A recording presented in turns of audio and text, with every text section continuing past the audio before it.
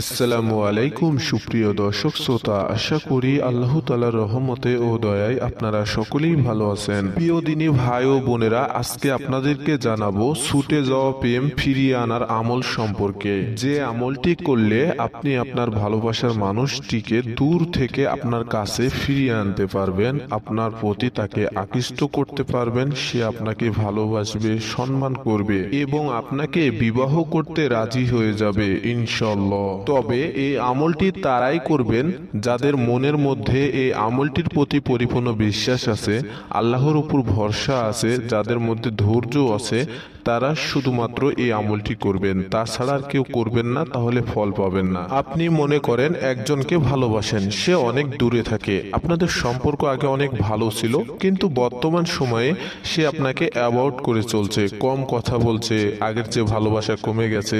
এরকম ধরনের পরিস্থিতির মুখোমুখি যদি আপনি হয়ে থাকেন, তাহলে ধৈর্য ধারণ করে এই আমলটি আপনার জন্য। এই আমলটি আপনি পরিপূর্ণ বিশ্বাস রেখে করবেন। দেখবেন আপনাদের ভালোবাসা আবার আগের মতো হবে, মজবুত হবে, শক্তিশালী হবে। সে আপনার কথা শুনবে, সে যদি আপনার উপর রাগ করে দূরে সরে যেয়ে থাকে, তাহলে সে ফিরে আসবে ইনশাল্লাহ তবে এটা আপনাকে অবশ্যই বিবাহ করার নেক উদ্দেশ্য করে এই আমলটি আপনাকে করতে হবে। আমলটি হলো মহান রব্বুল আলমিনের গুণবাচক সিপাতি একটি নাম। নামটি আপনারা স্ক্রিমের উপরে দেখছেন, নামটির উচ্চারণ হচ্ছে, ইয়া ওয়াহাবু ইয়া ওয়াহাবু। এর নামটির অর্থ হচ্ছে, হে দানকারী। প্রিয় দিনী ভাই ও বোনেরা এই আমলটি করার নিয়ম হচ্ছে, আপনি মধ্যরাত্রে উঠবেন, উঠে উজু করে এসে একটি স্থানে বসবেন। বসার পরে দুরুদে ইব্রাহিম একবার পাঠ করবেন।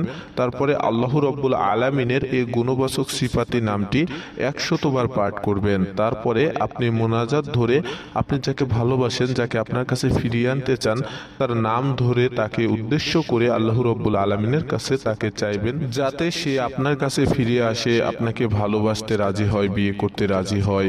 এভাবে দোয়া করার পরে আবার দুরুদে ইব্রাহিম একবার পাঠ করে শেষ করবেন। আপনি যাকে ভালোবাসেন, সে যদি আপনার জন্য কল্যাণকর হয়, তাহলে দেখবেন এই আমলটি একটা রাত করার মাধ্যমেই হয়তো আপনি তাকে তার পরাদিন অথবা দুই দিন, তিন দিনের এর মধ্যেই আপনি রেজাল্ট পাবেন, তাকে পেয়ে যাবেন, সে আপনার কাছে ফিরে আসবে।